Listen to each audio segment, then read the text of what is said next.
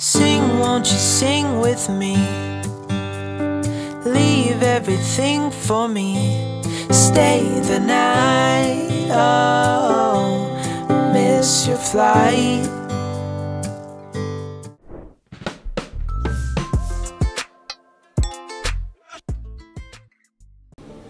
Hola a todos, soy Manu y bienvenidos a un nuevo video. Yo no sé ustedes, pero cuando yo comencé a comer bajo en carbohidratos y sobre todo sin gluten, lo que más me hacía falta era el pan.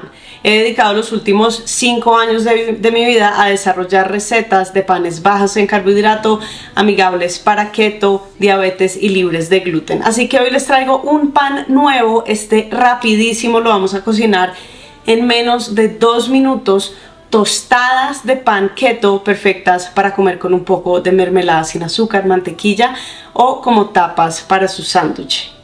¿Están listos? Estos son los ingredientes. Media taza de harina de almendra, de polvo para hornear, un cuarto de taza de mantequilla suave, acá simplemente en el bowl donde voy a hacer toda la mezcla. La puse 10 segundos en el microondas. Entonces sí se derritió un poquitico pero pues en general mantiene su forma. Dos claras de huevo. En esta ocasión y en esta receta decido usar dos claras de huevo y no un huevo entero básicamente por el color. Quiero que sea un pan que se vea un poco más blanco y esto lo voy a lograr usando solo claras. En caso que tú quieras y no te importa el color amarillo de la yema podrías usar un huevo un tercio de taza de yogur griego,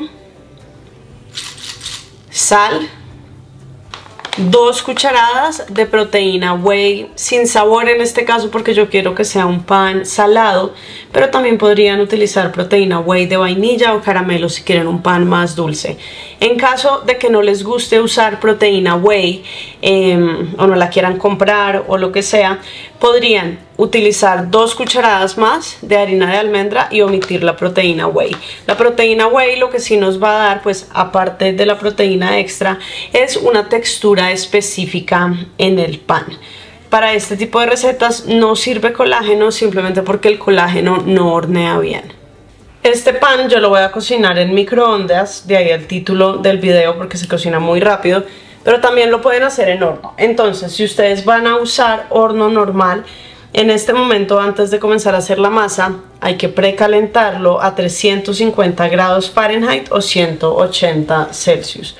Acá en el bowl tengo la mantequilla, primero voy a mezclar los ingredientes líquidos, entonces voy a agregar el tercio de taza de yogur griego, las claras, mezclo bien y sigo con los ingredientes secos.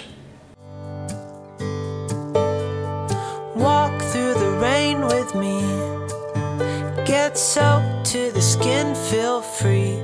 Shut the world out. Let's hang out. Oh. Si vemos la masa está lista y es bastante clara, bastante blanca esto cambiaría si utilizaríamos el huevo completo. Lo que entonces como lo voy a cocinar en el microondas, elijo un molde que sea apto para microondas. A mí cocinando en el microondas de verdad siempre que puedo elijo vidrio, no, no, me gusta calentar plástico en el microondas y acá quiero un molde relativamente cuadrado precisamente para que salgan en forma de tajadas de pan.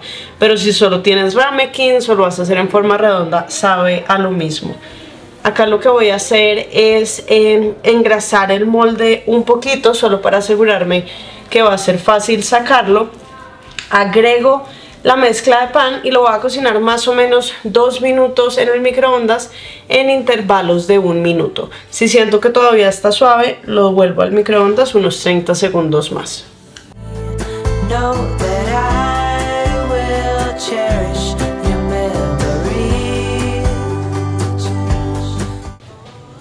Acaba de salir el pan del microondas, en total lo dejé dos minutos y medio. Algo importante también es que el molde que elijan tenga por lo menos la mitad del espacio libre para crecer, porque esto va a crecer y va a volver a bajar. Entonces, si, si sienten que la masa les queda arriba de la mitad, lo mejor es utilizar dos moldes.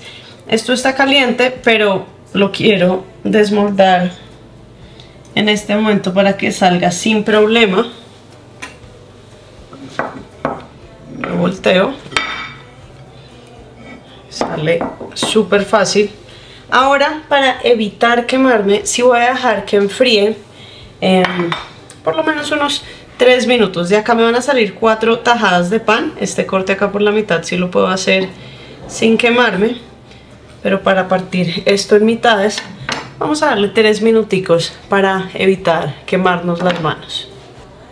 Estamos listos para cortar. Utilizo un cuchillo de sierra, calculo más o menos la mitad y con movimientos, literal como de sierra, como si estuviéramos serruchando, poquito a poco sin afán, lo corto en la mitad. Este pan es tan rápido de hacer que realmente lo pueden hacer el día que se lo van a comer sin ningún problema, pero si quisieran también lo podrían hacer em, incluso en un molde más grande en el horno, no les, di, les dije la temperatura pero no el tiempo del horno, entonces a 350 grados Fahrenheit se va a demorar entre 10 y 12 minutos para este tamaño. Acá ya tenemos nuestras cuatro tajadas de pan que están espectaculares.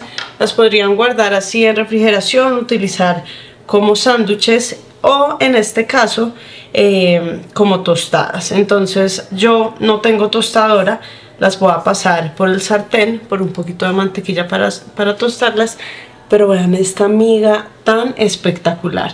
Las podemos usar como tostadas, como sándwiches. Yo de pronto le voy a poner un poco de mermelada sin azúcar. Ya les muestro y estaremos listos para probar.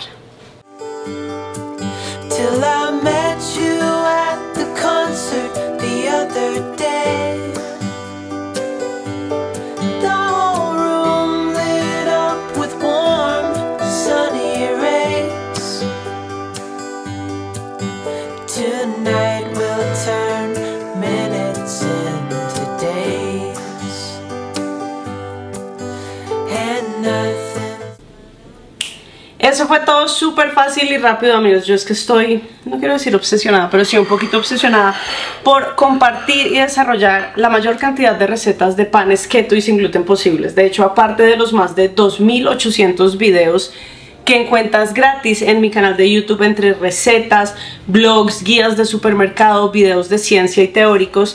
Aparte de eso, no sé si sabías que tengo un curso de panadería y pastelería saludable. El curso es online, se puede hacer a tu propio tiempo, tienes acceso de por vida, entonces si te encanta este mundo de hornear saludable para diabéticos sin gluten, ya sea para tu casa o para negocio, Abajo te voy a dejar el link si quieres más información o si estás listo para inscribirte porque es realmente, digamos que el producto del cual estoy más orgullosa. Pero hablando del pan, entonces nos salieron cuatro tajadas de pan. Les voy a poner los macros por porción, si hacen cuatro tajadas. Los tosté en el sartén con un poquito de mantequilla.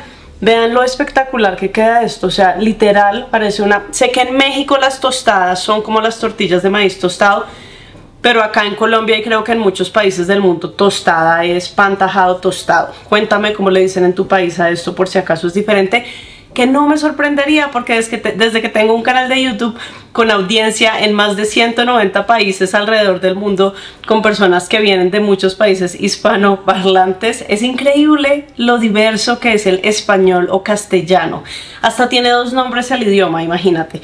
El caso, dime cómo le dices a las tostadas de pan en tu país.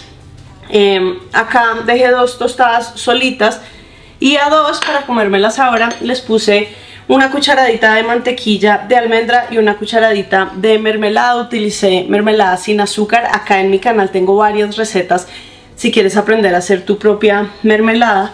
Pero le voy a pegar un mordisco al que tiene mantequilla de almendra y mermelada de frambuesa. ¡Qué delicia! Buen provecho.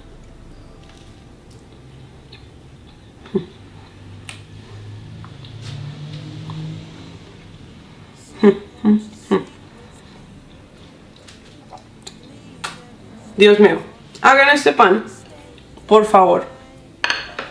Ya como les comenté, si no tienen la proteína whey sin, sin, sin sabor, no se la pongan. ¿Va a cambiar un poquitico la textura? Sí. Igual queda delicioso, sí. Así que hagan este pan, sé que les va a encantar. Si es tu primera vez viéndome, me presento rápidamente. Mi nombre es Manuela Echeverry y hace ya 7 años cambié mi alimentación a una muy baja en carbohidratos. Mira, comer de esta forma me devolvió el control de mi salud física y mental y es por eso que me emociona tanto estar acá en YouTube todos los días compartiendo contigo no solo mis recetas y experiencia personal, también tengo una maestría en nutrición y dietética y me apasiona entender cómo la comida afecta a nuestro cuerpo y qué cambios podemos hacer para seguir comiendo delicioso, porque es que yo amo comer, amo comer y amo comer rico. Entonces sí me gusta comer tostadas de panqueto que me mantienen en cetosis, que no tienen gluten y que cuidan mi salud. Si a ti también te gusta eso y no te has suscrito, me encantaría que te suscribieras y también si viste el video hasta acá me encantaría que dejaras el emoji de un pan. Así sé que te gusta ver los videos completos y me apoyas un montón cada vez que lo haces. Abajo entonces te dejo la información de mi curso, también tengo libros de recetas, abajo en la cajita de descripción siempre les dejo todo, incluso los macros y los ingredientes por si no los anotaron, siempre se los dejo escritos abajo. Si les gustó el video, denle like y nos vemos mañana. Chao.